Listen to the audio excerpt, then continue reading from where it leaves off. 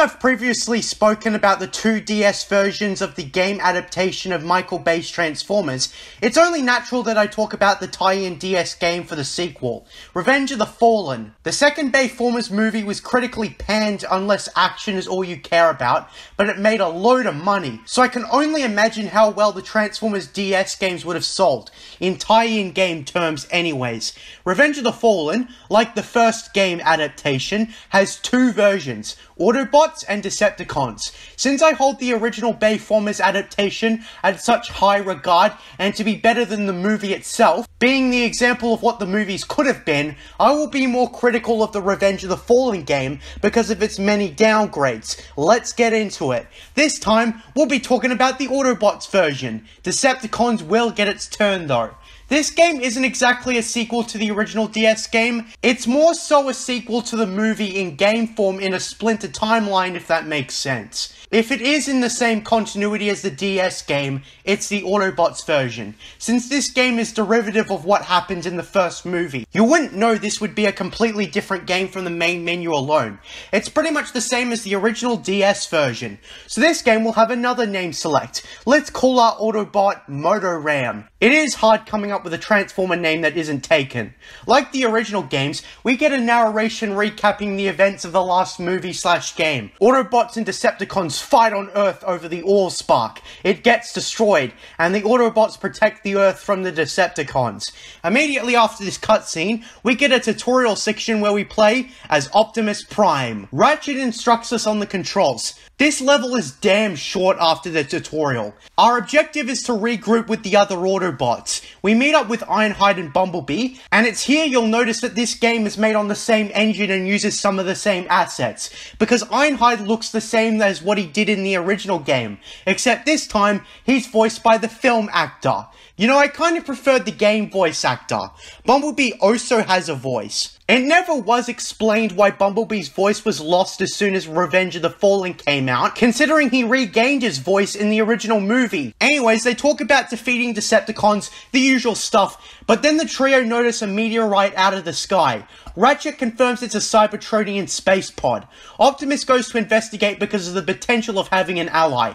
Optimus manages to get to the protoform first, where we meet another Create-A-Bot. Same protoform model as the original game. After a quick initiation into the Autobots, Starscream, the Dorito-shaped transformer, shows up and Optimus has to face him. Get away from that protoform, Prime. He's mine. Blast off, Decepticon! I'm not going anywhere with you! All around me are familiar faces, worn out places, worn out. While Create-A-Bot, who I'll just call Moto Ram, is guided by Ratchet back to the other Autobots. So we go inside a volcano, collect Energon, and we make it back to the small Brazilian town. We are then supposed to scan three vehicles. Okay?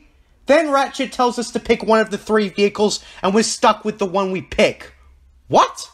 Alright, here's one of the most blatant downgrades from the original. The lack of choice in vehicle mode. Instead of selecting from a host of different vehicles, whether it be a car, truck, helicopter, or even a jet, and also adjusting the colors, in this game, you get only three vehicles, and the one you pick, you're stuck with.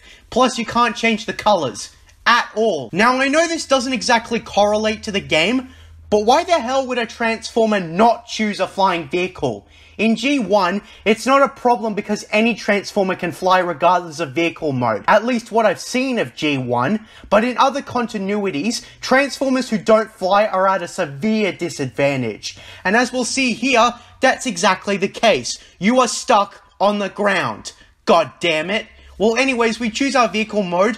I chose medium, so around Bumblebee size. So we go meet up with Bumblebee and Ironhide. Moto Ram is so arrogant that he says that he doesn't need help. We fight all the way back to the beginning of the level where we meet Decepticon Create-A-Bot, and we get into a boss fight. He's really easy to dodge, so we kill him and we go to the world map. Basically, this is the mission hub, so another downgrade. No open world. Damn it! Why would you scrap the open world design? Another problem is that most missions are filler. It reminds me of Star Wars Jedi Academy. There were missions in between the main events that had no bearing on the story, but at least it was fun filler. It's just that story-wise, they didn't mean anything. So basically, our first set of missions are set in Europe. So basically, our first mission is set in Eastern Europe. Wow, could you be any more vague? Let me have a look at what country in Eastern Europe it is. I had a look at Google Maps, and I'm gonna say the country is Ukraine. That's just a guess though. Does it look like Ukraine? No idea, I've never been there. The only tourist attraction in that country is, and I'm not even sure if this counts, is Chernobyl.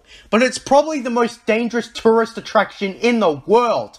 Anyways, the level is basically going around, killing enemies and scanning vehicles. Along the way, if you want better weapons, you'll have to scan some other stuff as well. Otherwise, you get a crappy machine gun and missile launcher. Anyways, next mission, England. At least they gave us a country this time. Basically, we have to disarm a bomb that's set to blow a munitions factory. But before we can disarm the bomb, we have to take out the turrets guarding it.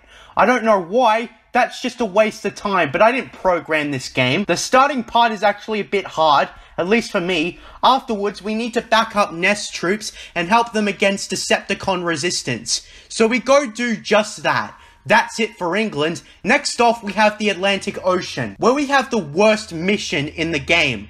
Okay, you can technically fly in this game, but it's a top-down perspective, and you can't go into robot mode. Just look at it. It's basically a poor man's Top Gun. We play as Breakaway as we have to destroy all the enemies. This is boring, and I wish it was like all the other levels. That would be fun as hell, and it would make up for Create-A-Bot's ground vehicle. Then we have to go back to all three locations to do challenges. First challenge is playing as Bumblebee to kill everything before time runs out. Next one is a race between Sideswipe and Bumblebee.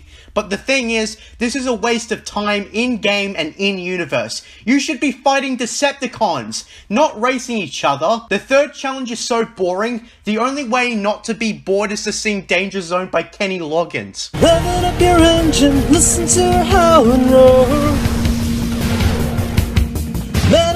Tension, begging you to touch and go. Highway to the danger zone. Right into the danger zone.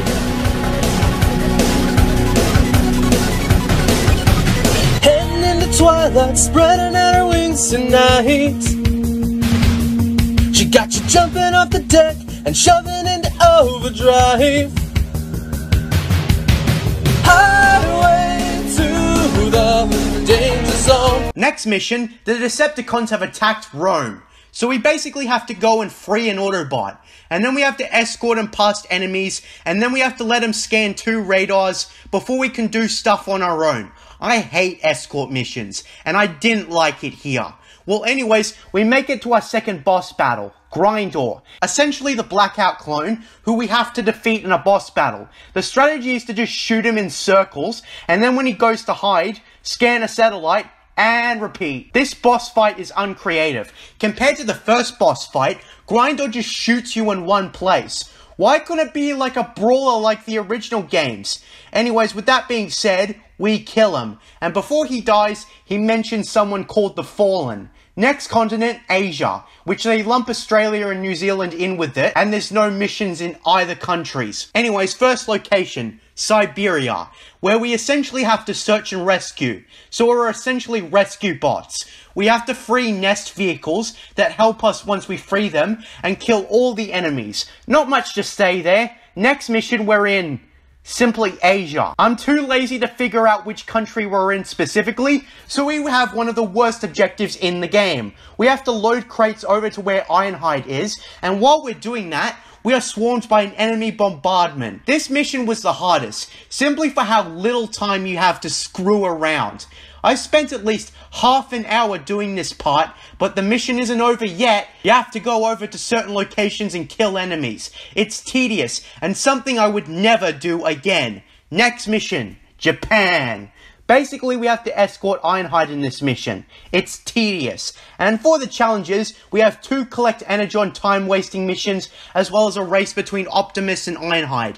Next mission, we have to go to Shanghai. The usual objectives remain throw bombs into the water and then get into vehicle mode and drive and dodge enemies. Next, we've got another boss fight, Sideways, which is basically the same as Grindor. So, since the game designers put that little thought into this boss fight, I will just skip it. Next, we go to North America for the next set of missions. First location, Mexico. And this is quite possibly the worst of every escort mission in the game. It's frustrating. I said before that you usually only want to defend yourself and not babysit any allies who can't. Anyways, we go to Canada next. We have to wipe out all Decepticon forces with another Autobot. The model of the Autobot ally makes me wonder why it wasn't an option. Anyways, we then go to an American military base and prevent the base from being overrun. And since the challenges are more of the same, I'll just skip them. Next main mission, we go to the Big Apple itself as we wipe out waves of Decepticons and face the one, the only Dorito shaped Transformer, Starscream. Starscream, what in the are you doing here? If it isn't the youngest, weakest Autobot,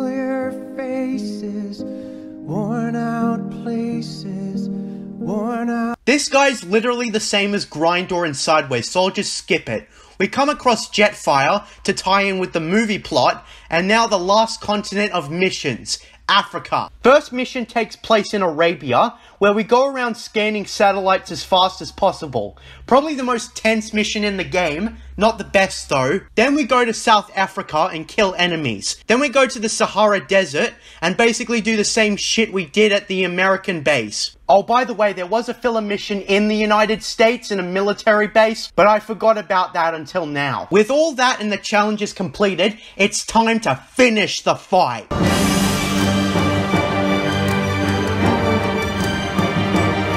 As we are tasked with going to Egypt, since Megatron has been resurrected at this point, we have to stop him and the Fallen. We go to Egypt, kill enemies as usual, until we confront Megatron. He takes the Matrix of Leadership, the MacGuffin of the movie away, and we have to chase after him. So after doing some 3D platforming, we go to confront Megatron. But instead of going all out, they rehash the previous three boss fights, which essentially makes this a weaker end as the Autobots win the day.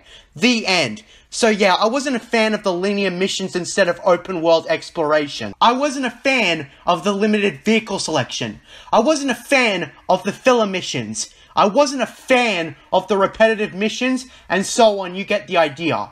What a downgrade. It was so stupid that they scrapped the open world in favor for this. Seriously, who at Vicarious Visions decided this? Fire them immediately if they still work at the studio.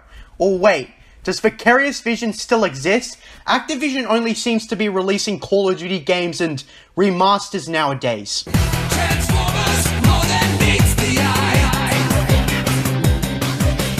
Okay, I looked it up. They still exist. Lucky them, I guess. Anyways, with that being said, Transformers Revenge of the Fallen is not a bad game. If we look at it as a game, it's not actually half bad. But considering that this was the sequel, there's no excuse why it shouldn't have been better. And another thing, in the multiplayer, you cannot play as any of the other Autobots. You can only play as your Create-A-Bot. So there's going to be a lot of clones roaming the map. The ability to not change colors would have made this more tolerable, because I really don't like orange for Motor Ram, but the alternative was a pink shorty or a fat ass ambulance. I didn't really talk about the story, but the thing is, there isn't a lot of it due to the filler missions. It follows the main beats of the movie, as in Autobots face resistance, the Fallen threatens the Autobots, Megatron is revived, the matrix of leadership, etc. And it's better than the movie, don't get me wrong, but it isn't as good as it could have been. I think this could have been more character building and less filler missions. What I would have personally done is expand on the original, make it an open world with new locations based on the movie. Like maybe have Tranquility for familiarity, but also have Shanghai, Egypt, and other places from the movie. Improve on everything, but don't take away what was great about the original games. And for Christ's sake, let us customize our own Transformer. God damn it. If we want to be land or air, let us choose. Let us play the full selection of characters like the original. Let us have fun. But that's what could have been. I give this game a 7 out of 10. I am not hateful, but I am disappointed. Decepticons next. I'm JJ Plagiarisms. And until next time, what are stories but mystery boxes?